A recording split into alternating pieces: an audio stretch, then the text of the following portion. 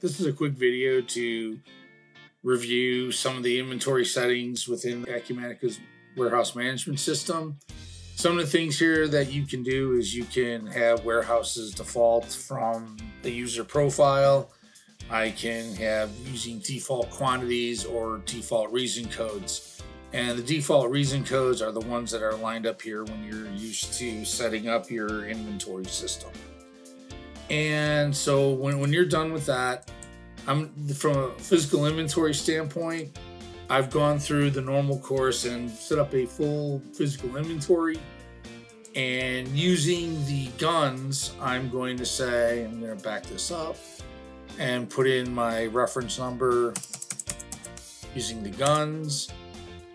And the guns say, okay, I'm going to load in my physical inventory. Now it's asking me to scan the location ID.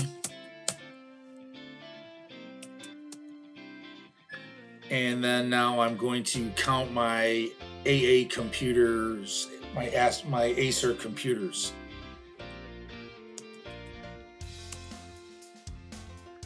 I scan each one of these,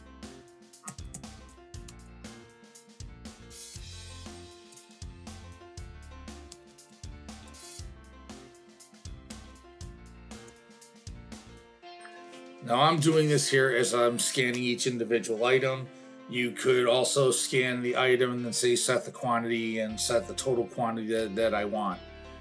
When I come back over to my physical inventory review and I refresh my screen, it now shows me that I have entered in my count and it's going to do that. And then it's going to go through when I'm done counting all my items.